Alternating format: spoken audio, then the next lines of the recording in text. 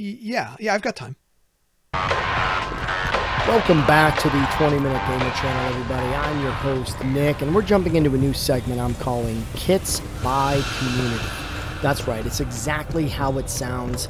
These are kits that have been given to me by the community for classes to see what my impression is of them and if they help me along my way when it comes to fighting the Xeno scum. Um, a couple of you have reached out to me on the live streams, commented that uh, you have some kits that you feel help you on the higher difficulties, and you asked if I was interested in seeing what those kits were. I 100% am. I'm all about using kits that help benefit myself and my peers when playing on the higher difficulties. So uh, we're just going to go ahead and get into this real quick and uh, and just kind of kick things off with the first one. The first one is coming to me from a uh, from a gentleman. Um, his name is Awin Spooders. He's been on a couple of my live streams already, and this is a Lancer kit that he built. Um, this is a Lancer grid that he utilizes on um, on higher difficulties that he's had a lot of good luck with. So, starting out, we are using particle wave. So we're not actually using the actual lance portion. Uh, we're adjusting to use the particle wave, which is basically the particle lance in shotgun form. Right? Uh, it creates that uh, that cone in front of you, gives you about 100 150 to 160 degree arc of coverage right in front of you, and uh, it kind of wipes out anything that's in in your direct um, sight range. Now it is um, very short range. Uh, I mean, you're not uh, you're not going to be hitting targets um, on the other side of uh, on the other side of the map like you would with the actual particle lance, uh, and it's not necessarily like it is piercing, but not in the same way that the particle lance is piercing, right?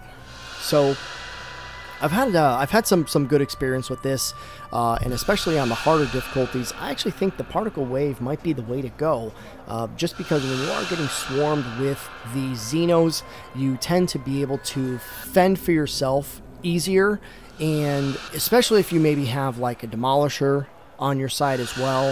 If you're able to coordinate a time for him to drop Blast Wave, and then you follow up with Particle Wave, uh, you definitely get some really amazing results with it.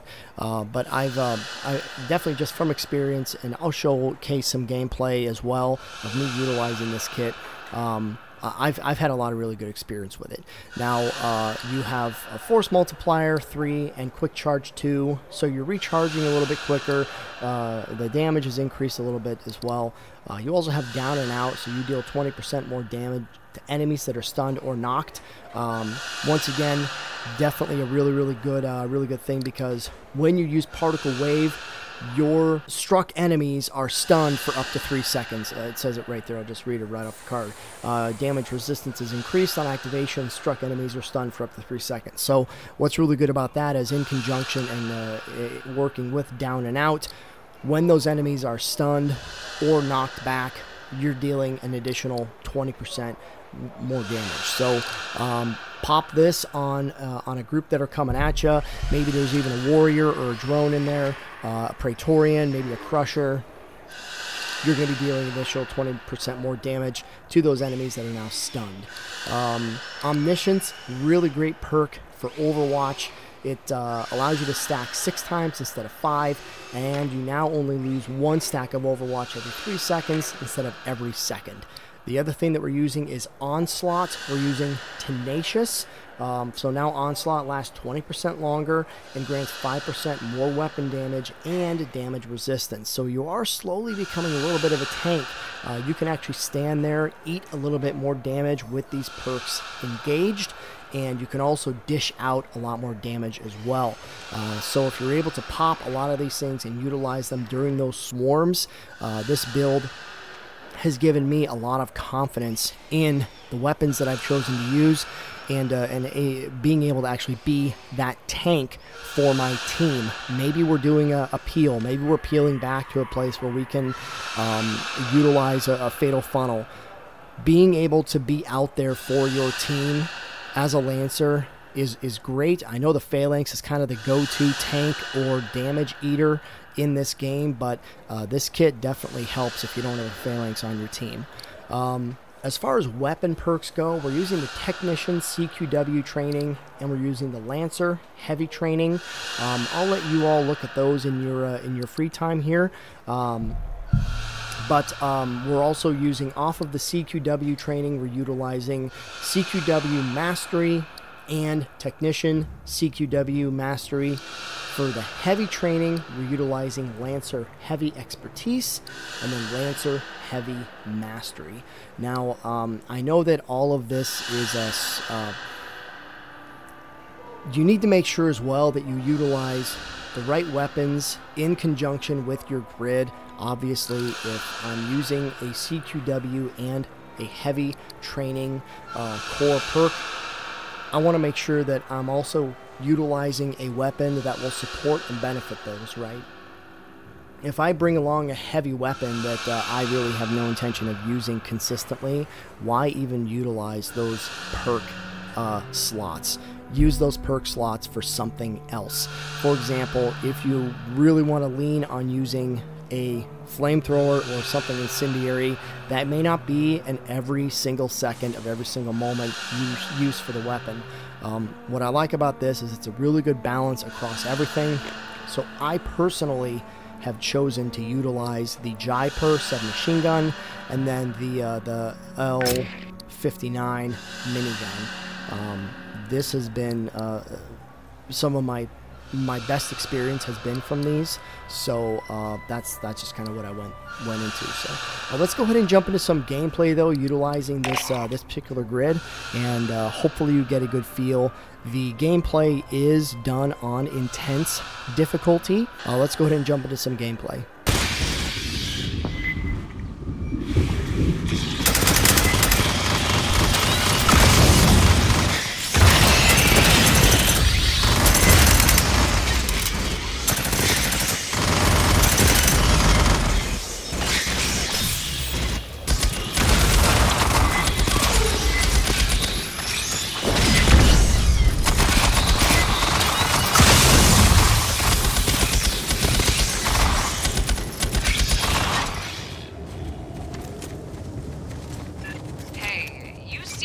Yutani shit? Did they miss this place somehow? There's our door. Christ, there's chunks all over.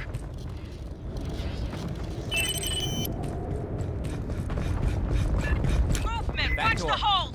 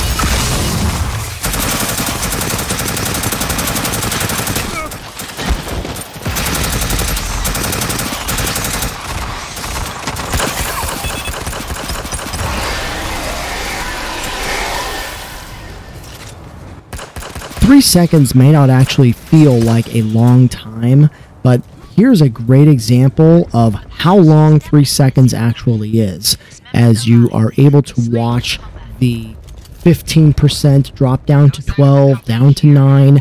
If you needed to actually roll out of the way to pick up new foothold, that three seconds is actually going to maintain that percent bonus a lot longer than we actually perceive the three seconds to be.